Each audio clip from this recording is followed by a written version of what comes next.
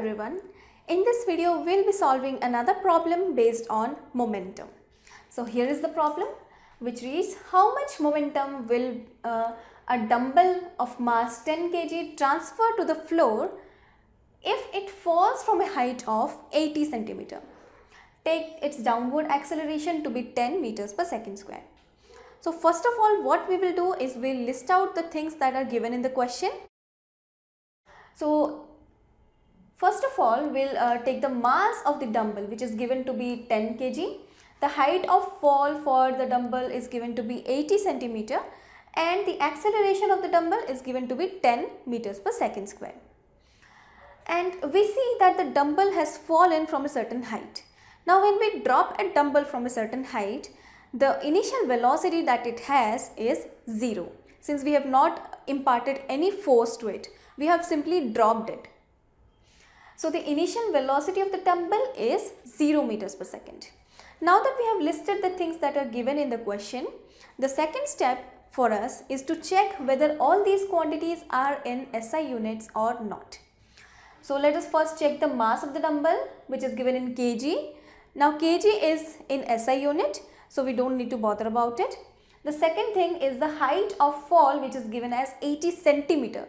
Now centimeter is not an SI unit. So we need to get it converted to SI before proceeding to solve the problem. The third thing is acceleration which is given in meters per second square. Now this is in SI units so we will not be bothering about it. So now let us convert the third step for us will be to convert this quantity which is not in SI to SI units. So let us do that. So 1 centimeter equals 1 by 100 meters as we all know.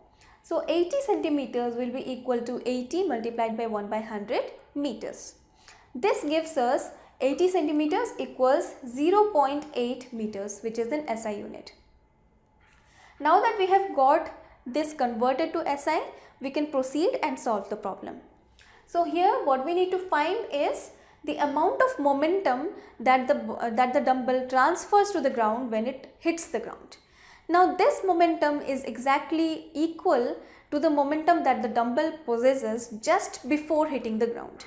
So let us calculate that and that will be our answer.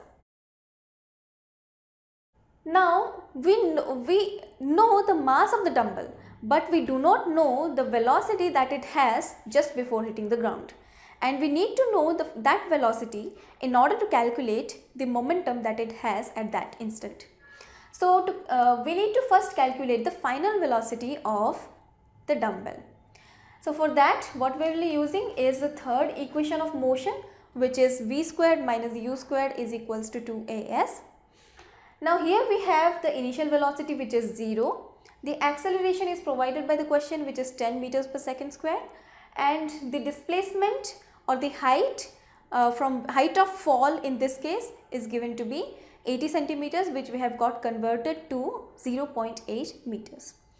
So the only unknown quantity here is this v that is the final velocity which we, we have assumed here to be the uh, velocity that the dumbbell has just before touching the ground.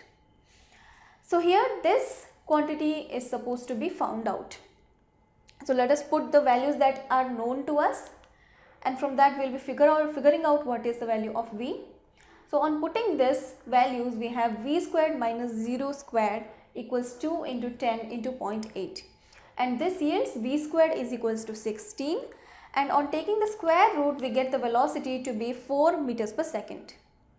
So here we have got the velocity value and we also have the value of the mass of the dumbbell which is 10 kg and we require only these two pieces of information to calculate the momentum of the body at any instant of time.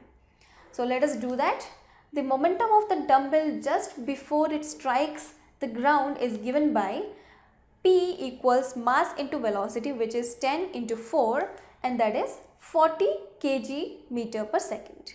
So here this kg meter per second is the unit of measuring momentum or we can say the SI unit of momentum and we should never forget to mention a unit the unit of a physical quantity because a physical quantity is meaningless without its unit.